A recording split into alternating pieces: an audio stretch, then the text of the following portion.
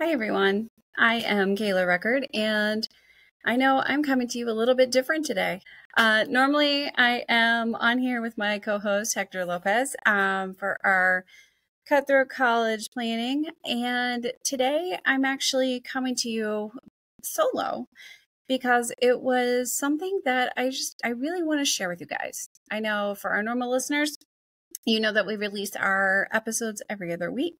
Um, this is something I'm actually kind of breaking that a little bit as a little bit of a PSA announcement for you guys. Um, hopefully to my parents more so than anything else. And this is coming because I have had such a magnitude of students that I'm teaching currently that are high schoolers um, that are in my college prep boot camp program. And I have had the same questions or the same challenges from them. And I really want to educate all of my parents out there, all of my listeners, as much as I can about this issue. Let's pause and hear a word from our sponsor. This episode is brought to you by the One Big Thing podcast. If you're in the thick of life as a parent or a spouse and just trying to grow as a person, then you won't want to miss this show.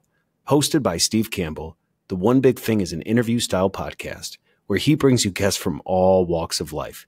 Picture professional athletes influencers, business owners, and even some rockin' stay at home moms. Each episode will bring you as a listener a life hack or a way of looking at life that will help you move from inspiration to transformation.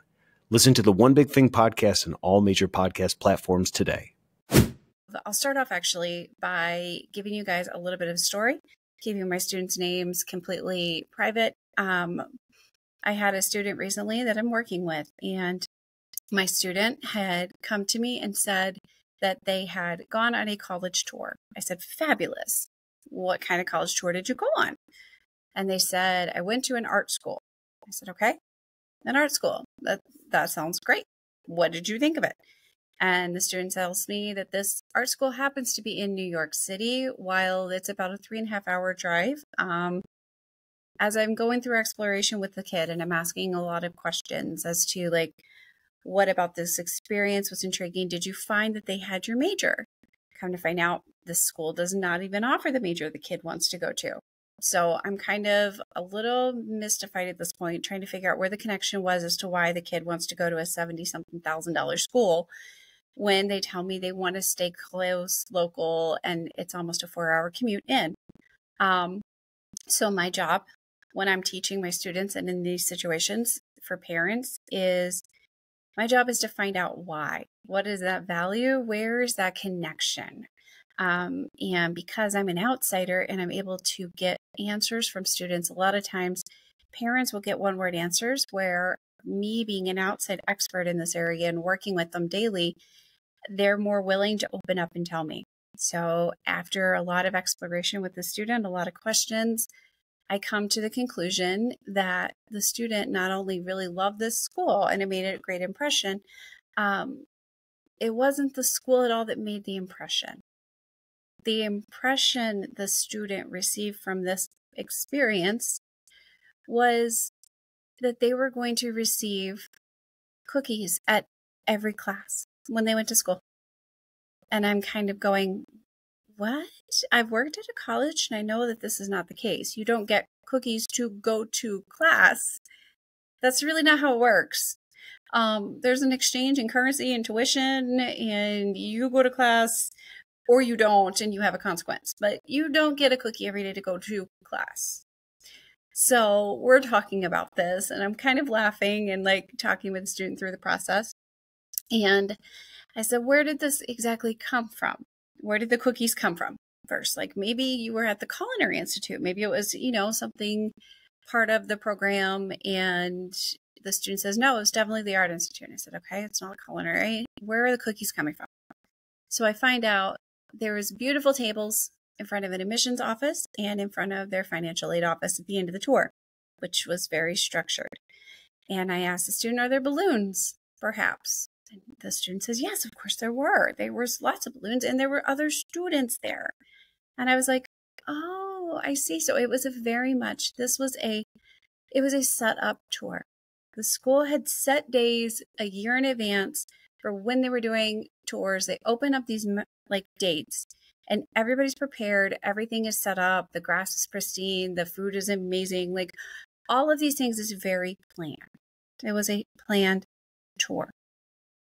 So, in a planned tour, you are going to see a lot of extra perks or things like kind niceties for students as you go throughout the day, right? It's a long day. It's a long day touring and going through a campus.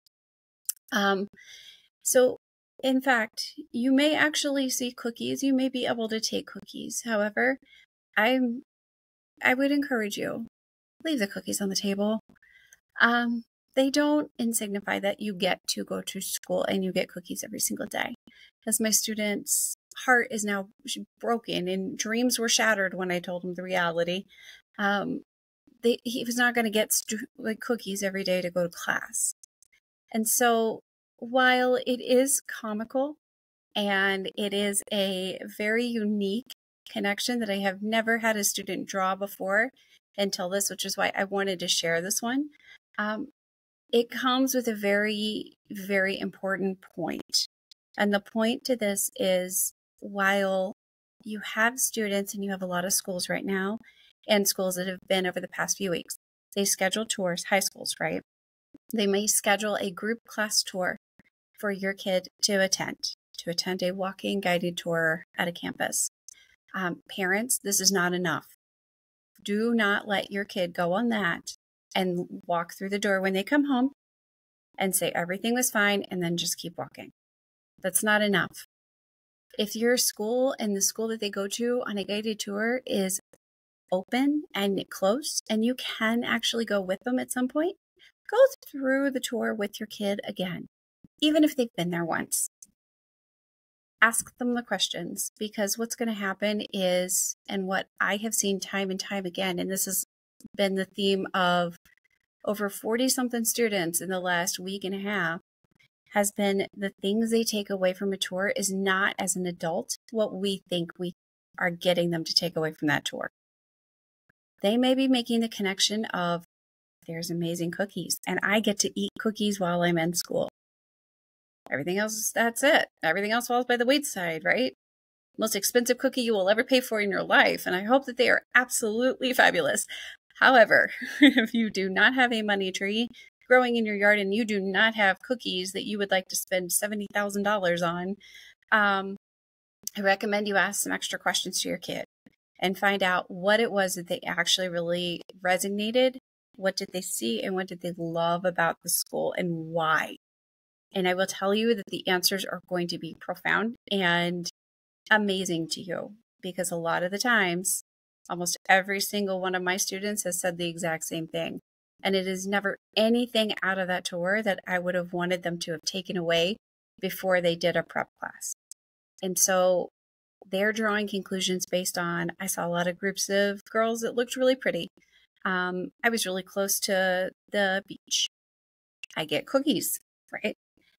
Those are all things that are connecting in the student's mind and then they're gone they don't make any more connections. So you have to talk to them. You have to take time to ask them why. You have to find out what it is that they're really, really wanting and why they're investing in this idea of this school.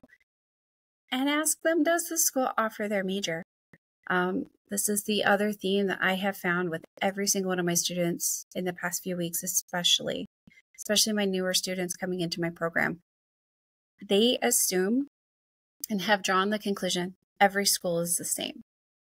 Yes, your undergrad classes, you have grad, undergrad requirements, your prerequisites. Those are, but your schools are not the same.